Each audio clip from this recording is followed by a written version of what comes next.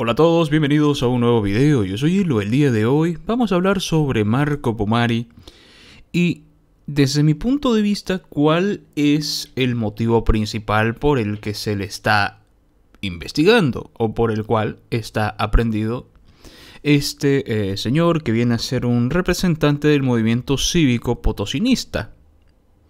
Recordemos que Marco Pomari fue de los primeros, sino que el primero, en denunciar las actas acumuladas en un espacio particular que no deberían estar ahí.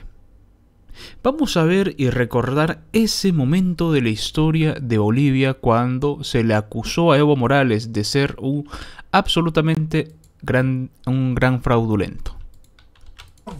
Podemos ver más y más de todas las actas que se han escrutado en este momento de todos los recintos, de todos los recintos que, del municipio de Potosí.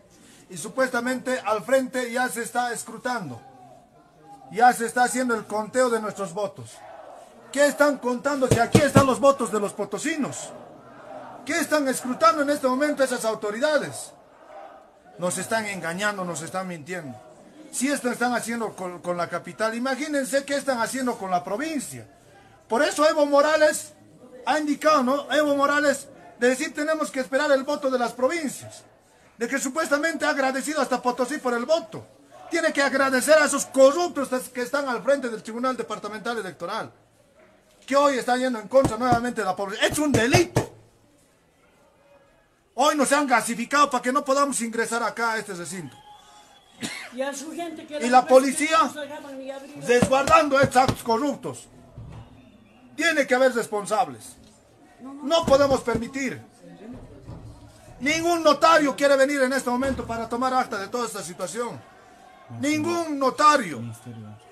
Vamos a ir en este momento al Ministerio Público, aunque lastimosamente el Ministerio Público también está en manos del gobierno.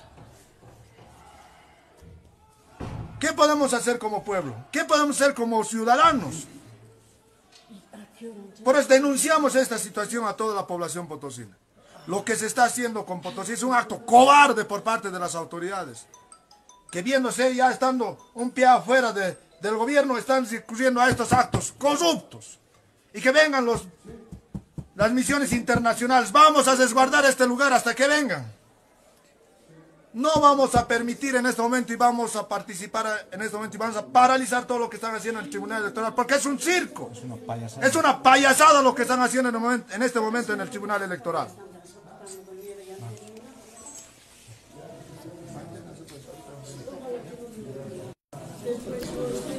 Señores, esto es lo que ocurrió. Esta fue la denuncia del señor Pomari. Y quiero que recuerden que el señor Marco Pomari mencionó que al frente está el Tribunal Departamental Electoral. Entonces, este espacio no es dentro de las instalaciones del TED. No es. Es un espacio aparte particular. Entonces, ¿cuál era el motivo de que todas estas actas estén ahí? La denuncia que realizó el señor Marco Pomari evidencia lo que es un flagrante intento de manipulación. El señor Marco Pomari fue detenido por supuestamente irrumpir el TED, quemarlo, casi casi lanzar una bomba nuclear ahí adentro, según los masistas, ¿no? Según los masistas cobardes y corruptos. Lo cierto es el video que acabamos de ver. Lo cierto es que Marco Popari denunció algo que creyó ilegal. Y que por supuesto, a los ojos de una justicia total y absolutamente imparcial que no es sometida a un gobierno, es igualmente un delito debería ser considerado así. Pero vemos que el masismo está trabajando, vemos que el masismo gobierna aún, porque muy probablemente han realizado otro fraude más escondido que este que fue tan obvio, tan evidente. Marco Pumari es un perseguido político, es un preso político, total y absolutamente cierto. Lo explica el periodista Carlos Valverde. Ampliación de imputación formal, jugado de instrucción primero en lo penal de la capital, no lo, no lo notificaron a, a Marcos Pumari y la intención es que guarde detención en La Paz. La Paz, yo pensé que habían cambiado a esta, en el penal de San Pedro de la ciudad de La Paz. Y uno se pregunta ya, Walter, y uno se pregunta, ¿La Paz es un campo de concentración? La Paz tiene que ser la cárcel, no hay, no hay un distrito judicial para tenerlo preso o es definitivamente un preso político y les voy a decir por qué sí es un preso político Marco Antonio Pumari. Porque el niño ministro acaba de decirnos, acaba de decirnos a todos que el Estado garantiza, que el gobierno garantiza la marcha de los cívicos hoy en Potosí, siempre y cuando no haya violencia. Perfecto. Y yo le pregunto, señor del Castillo, pequeño niño ministro, le pregunto, ¿ha leído usted este libro que se llama Constitución Política del Estado? Su partido mató a tres personas en Sucre su partido mató tres personas en Sucre para aprobar esta constitución y sabe que esta constitución le garantiza a la gente libertad de movimiento, libertad de protesta, libertad de todo eso. Ataje, ataje a sus violentos del MAS. Y va a ver usted que la marcha en Potosí va a ser tranquila, pero vaya y ataje, amarre, amarre a sus bichos. No los largue como está acostumbrado. No los largue porque lo, llevaban este, a Betanzo, lo llevaban a Yayagua, en Yayagua una huevada, la, la, la, la, llegada, lo tenemos la llegada de él a, al, al juzgado, ¿no? Ponelo.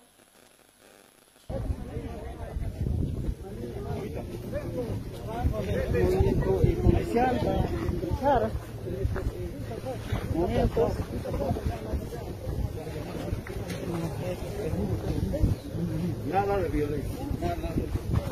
¡Asesino! ¡Asesino! ¡Fumar, asesino! ¡A la cárcel! ¡Justicia!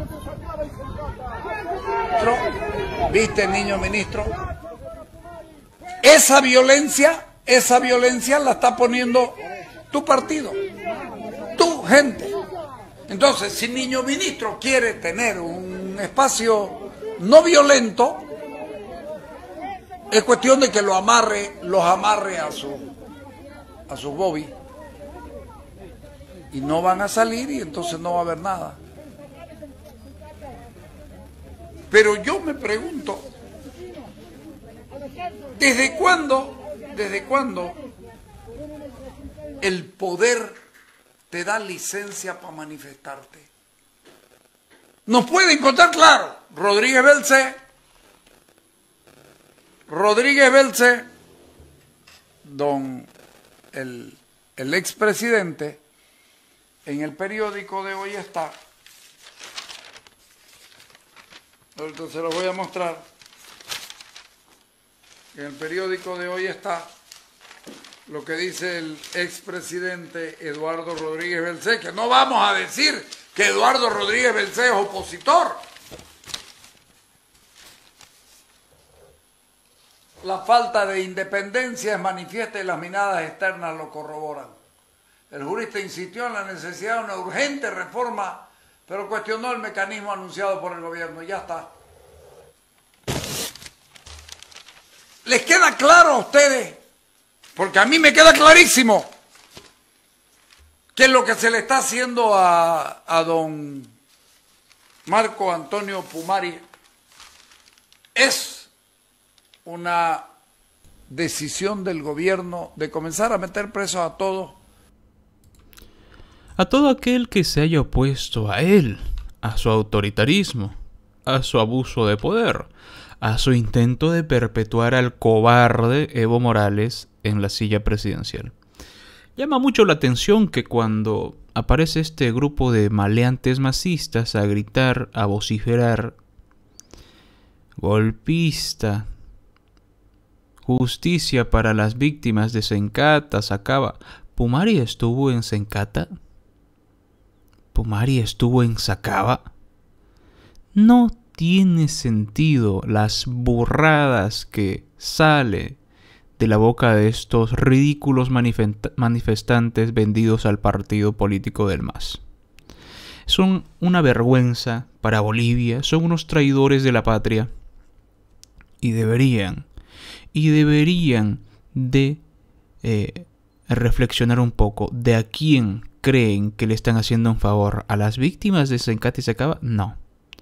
Le están haciendo un favor al gobierno, Ah, pero claro, tiene sentido porque es ese propio gobierno el que solventa esto, este grupo de, pícaros, este grupo de tristes mediocres que van a gritar a cambio de 50 pesos. ¿Qué opinan ustedes? Por favor, déjenme en la caja de comentarios su opinión. Muchas gracias a los miembros del canal que aparecen en pantalla. Cuídense mucho y nos vemos en el siguiente video, que por cierto, volvemos a la actividad normal del canal.